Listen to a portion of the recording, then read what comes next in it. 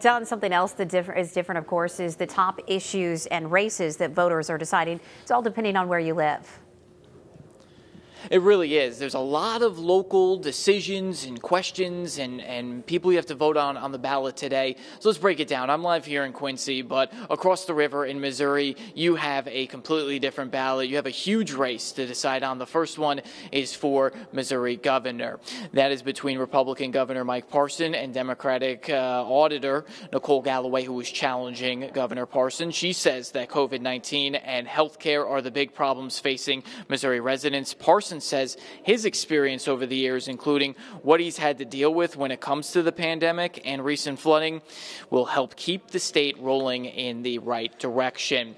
And did you know the national spotlight is on the Hawkeye State? Yes, the uh, the state of Iowa and the voters, all you up there, you're in the national spotlight because you're choosing a huge U.S. Senate seat that can determine control. What I mean by that is the races between incumbent Republican Joni Ernst and Democratic challenger Theresa Greenfield. The two have been at odds over healthcare, education, infrastructure, and small business. They've been debating on the stage for multiple months to try to lure voters into to decide for them. This race is one of the most expensive in the nation and could be a key to whether Republicans can control the U.S. Senate for years to come. Now, besides the races that are on the ballot when you're deciding the people, like I just mentioned, there are some really important questions that you are going to need to decide on. In Illinois, that is that tax question, the graduated income tax question.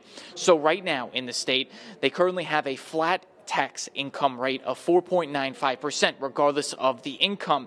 That system has been in place since 1969. So if this new graduated income tax question passes, that fair tax would be able to change the tax depending on the income and what you make.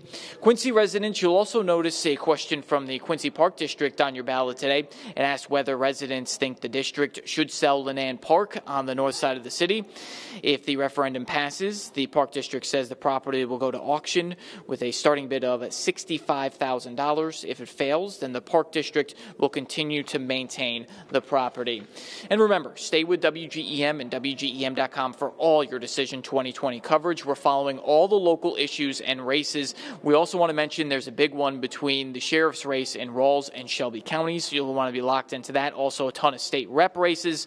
We're going to continue to have the latest results with reaction later tonight. So, Natalie, that's just a I guess you would call a small piece of the puzzle of what's happening here today. Yeah, certainly going to be a busy night ahead, and we're already getting things off and running here this morning. Let's remind everybody of the polling location hours so they can get out and vote today. Again, polls already open in Illinois this morning. They're open until 7 o'clock tonight. Same goes for Missouri. Polls are open now until 7 o'clock tonight.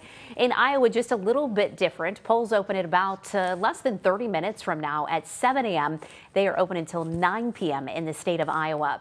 And if you're not registered to vote in Illinois, you can still do so. Illinois allows same day registration, meaning that you can vote at your local election office.